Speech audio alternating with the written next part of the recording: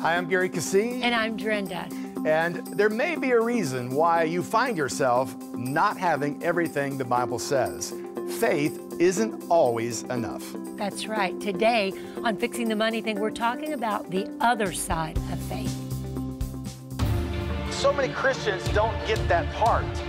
They trust God, so to speak. They're looking for God to do things, but they don't know their responsibility to make sure it works together. This is the principle of Newton's law. For every action, there is an equal and opposite reaction. We have to know how this thing works to enjoy the benefits of the kingdom. The pressure and speed of the hot gases provide the force needed to turn the turbines and the its You got to be involved in this process. God wants you to have every promise, but there's a part you play in it. Do something. Welcome to Fixing the Money Thing, and we're going to answer a question that we get so many times. Why isn't it working?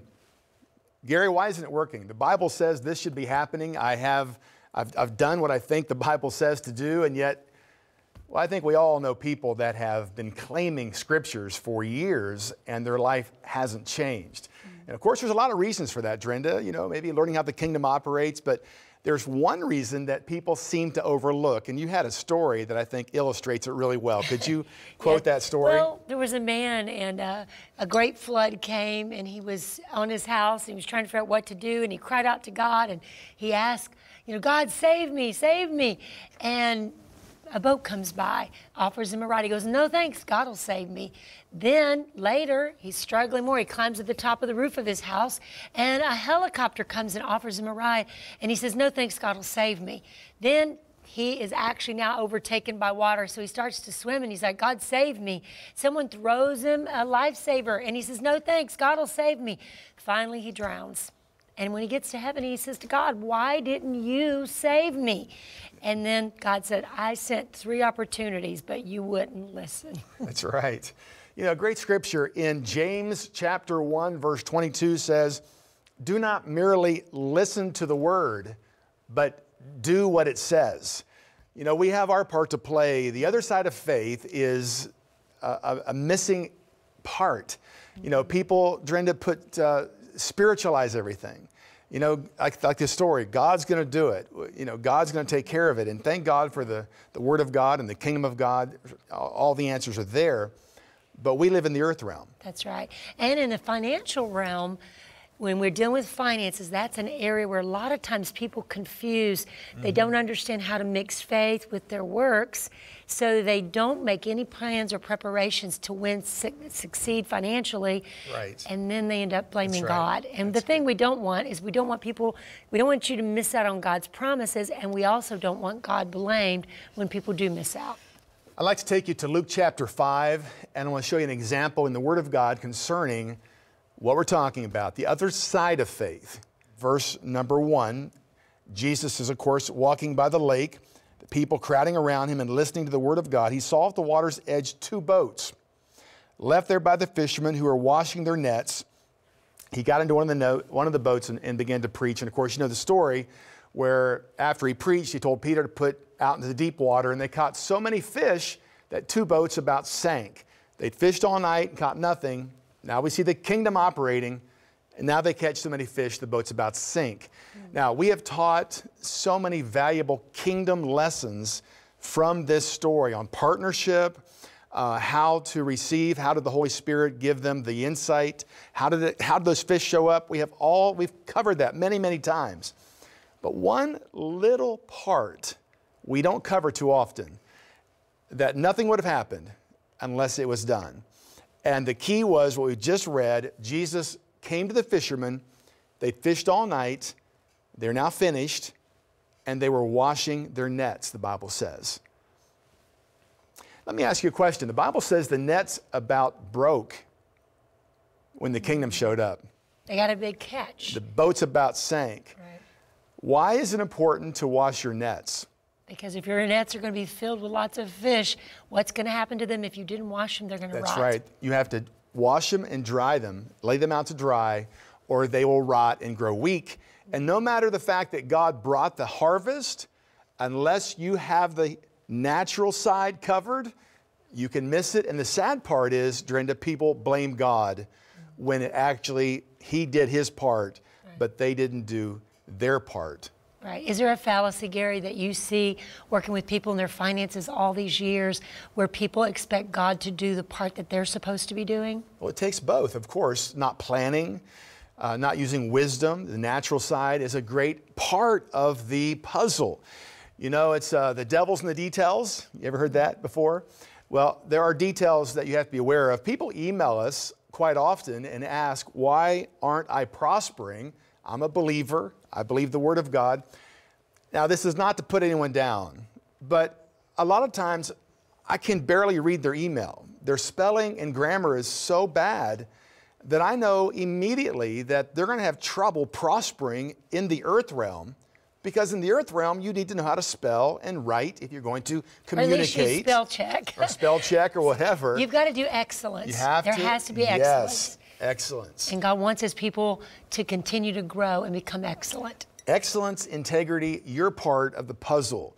You know, preparation is a big part of the harvest, and you have your part to play. Listen to this story. It's an amazing, sad story. It goes back to, let me pull it up here. It goes back to 1972. A four month old Lockheed 1011 TriStar. Remember, that's the, the big jetliner with the, the engine on the tail. Uh, there, I think FedEx still uses those, but a lot of the, most of the airlines have not uh, been using those for a number of years. But four month old airplane crashed in Miami, killing all on board.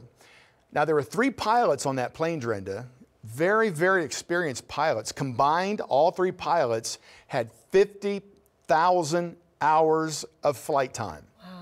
That is a lot of experience. So it wasn't their first day out. Not their first day out. when they came into Miami to land this brand new plane, the gear went down, but one of the gear lights, the lights that indicate, you know, you have the two main gears, front nose gear, uh, one of the lights did not come on, indicating that the gear was actually locked. So the plane went around, didn't land, it took back off, and went up to 2,000 feet and began to circle as they began to experiment what was wrong with that landing gear or the landing light. And accidentally, the captain bumped the yoke. It was on autopilot. He bumped the yoke, and the autopilot went off without them. They were so distracted by this gear issue that they didn't notice that the autopilot had turned off. And very, very slowly, so slowly they could not perceive it, the plane was dropping maybe 100 feet every two minutes. Mm. It was just slowly going down In a decline. in a decline. And this perfectly good, brand new aircraft with 50,000 hours of flight time among the crew just flew right into the ground without them realizing it until the last second. They saw they're about to hit the ground. They said, What happened? And they mm. crashed. Wow. Three guys never saw it. Now, looking at the crash, examining the details, they found out that the problem was not the landing gear, but it was a burned out light bulb for the landing gear indicator. A burned out light bulb.